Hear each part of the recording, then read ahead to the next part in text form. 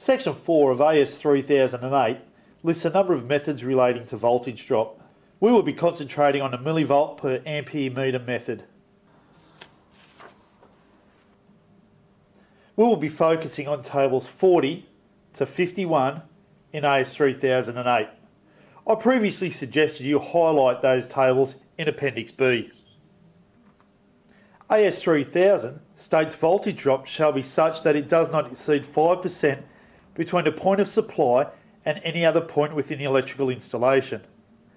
In a single phase installation such as this, that value is no greater than 11.5 volts.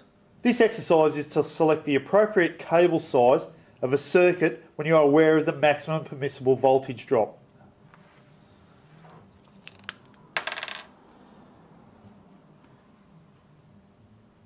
This single phase installation has an established voltage drop of 6.9 volts across the consumer's mains. This means the maximal permissible voltage drop across the final sub-circuit is 4.6 volts. The voltage drop equations are listed in section 4 of AS 3008. As we are searching for the value of VC, we'll use VC equals VD multiplied by 1000 or divided by length multiplied by current. However, be aware there is a note that relates to single phase situations.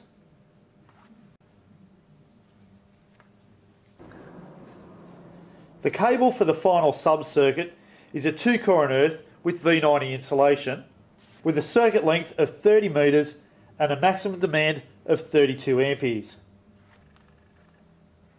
Populating our equation as such, we can calculate the value of VC to be 4.79 millivolts per ampere metre.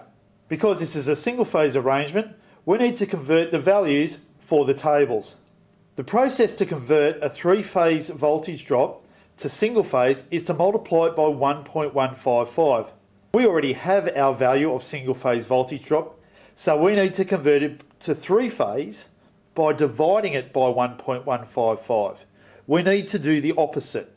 Dividing a number by 1.155 is the same as multiplying it by 0.866. It is also mentioned in equations in section 4 of AS 3008. This means that our selected cable can have a voltage drop of no more than 4.15 millivolts for every ampere flowing through it for every metre of its length.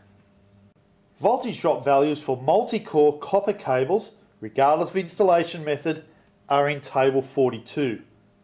Column 6 is for 75 degrees. 4.15 millivolts per ampere metre falls between 6.49 and 3.86.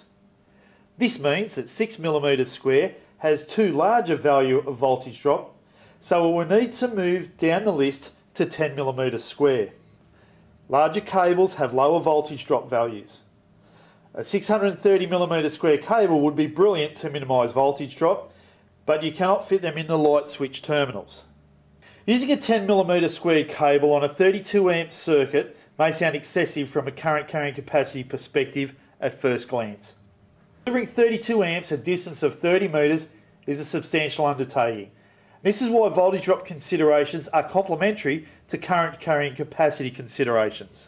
A more fluid method to determine the value of VC and a single phase arrangement is to incorporate the conversion in the actual equation like such.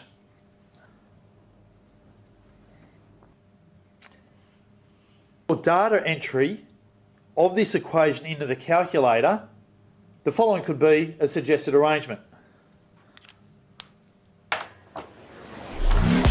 Yay!